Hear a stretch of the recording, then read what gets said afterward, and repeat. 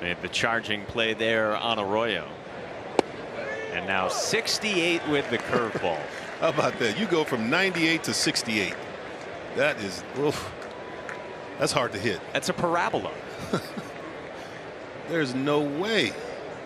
Like the Eephus pitch. Then you come back with 30 mile an hour difference. Yeah.